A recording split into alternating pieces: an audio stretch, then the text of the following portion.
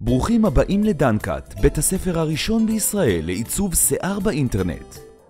בסדר, היום השיעור שלנו יעסוק איך לעבוד עם אתר שהוא כלי מאוד שימושי במספרה הוא מתאים גם לתספורות קצרות, גם לתספורות ארוכות.